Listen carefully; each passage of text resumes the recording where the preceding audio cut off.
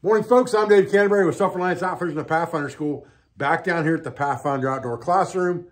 Back in another segment in our series, 10 Minutes to Better Navigation. What we're going to talk about today is using the orienting lines on your compass to factor an azimuth on the map.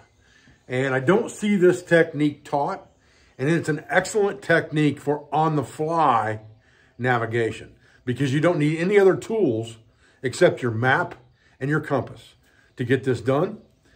You don't need to worry about orienting the map. All you have to worry about is two things. A, you should set the declination of your compass if you have that capability ahead of time so you don't have to think about the conversion factor on the fly. And the second thing is you have to orient the compass both directionally on the leg that you plan to travel and with the map. You don't need to worry about orienting the map. We'll talk about that in a demonstration right now.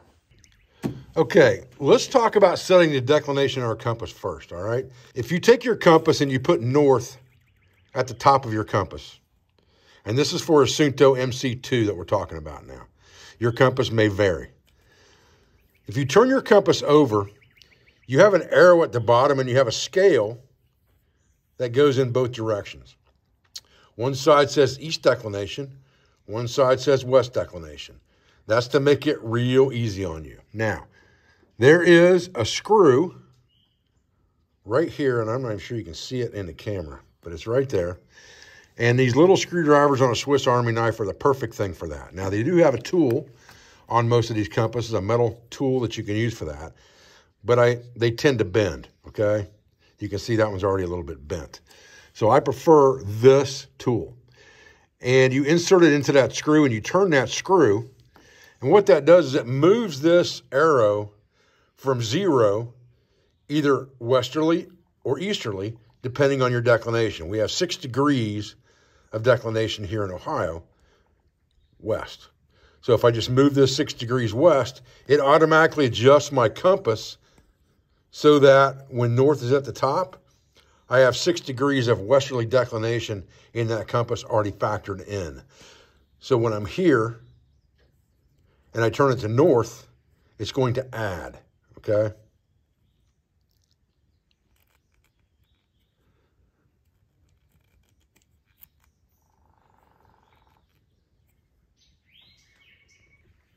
Now, once we have our declination set, not only does that offset our declination within the compass, it also offsets our bezel ring to these lines. And these lines inside the compass, these red lines, are called orienting lines.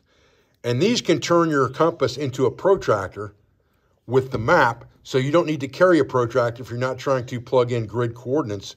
And all you're trying to do is make a circular azimuth of some sort to figure out where your azimuth reading is. You can do that using these lines. Inside the housing of your compass where the needle floats, there are lines in here that are called orienting lines. And those lines basically turn your compass into a protractor so that you don't need to carry one. And the way that works is, if I have two points on the map, one of them being a known point, I know where this is at. We talked about this in our travel the other day. We knew from base camp to where that point was and how to get there.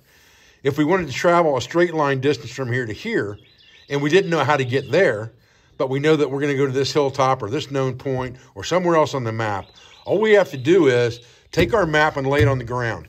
North is facing up, but that doesn't matter because the map is oriented north itself to the grid lines. Okay, the grid lines, the top of the map is grid north, no matter what direction you lay it on the ground. So now if we lay our compass on here and we put it between these two marks, just like this, as if we want to travel from point A to point B. And it's important to understand travel direction, okay? I'm traveling from here to here.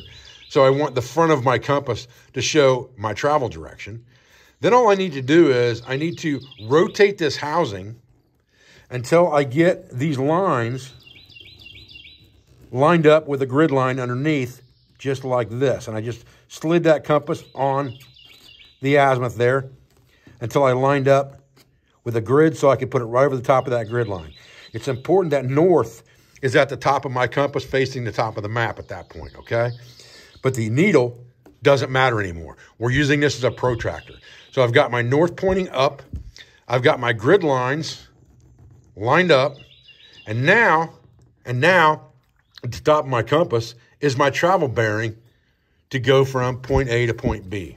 All right. And all I have to do is rotate my body till the needle's in the doghouse. And I have the proper orientation of my compass now and my travel path going this direction. Okay. And you can see that's opposite the map is because the map's laying toward the south. But all of that's arbitrary because we're using the compass now as a protractor, not as a compass until we pick it back up and put needle in doghouse. And now we're traveling in an easterly direction, just like we would be on the map going from west to east. All right. The other thing that we can do with this very easily is because we have a centimeter scale on here, we can measure the distance between those two points. And it is about 750 meters or 7.5 centimeters, this being a 1 to 10,000 scale map. That's 750 meters. So now not only do I have a travel direction, I also have a distance. And I did all of that with my compass without orienting the map in any way or any other protractor or device. All I used was my map and my compass to get that. So this is a very good technique to use on the fly if you're out exploring an area and you're at a known point like this and you were to say, well, hey, I want to go to this hilltop or hey, I want to go over here to the stream, or hey, I want to go back over here to this known point on the map here that I don't have a trail to. I want a straight line distance. I can get all of that on the fly just by throwing this map on the ground, throwing this compass on top of it, lining up them orienteering lines, making sure my compass is oriented so that the north is toward the top of the map when I lay it down, and I'm good to go, all right? That's a very, very good technique. All right, guys, well, I apologize for the brevity of this segment of the video series. Doesn't take a whole lot to explain that, but it's a very, very good technique, again, that I don't see taught by anyone. So I wanted to make sure I got it in this series for you because it's great if you're out exploring an area and you have a map. Again, you're starting from a known point. That's what's important with this technique. And that you've got the declination plugged into your compass already, so you don't have to think about those calculations on the fly. It's basically just shoot it on the map, rotate your body till needles in the doghouse. You got a known distance, known direction, go.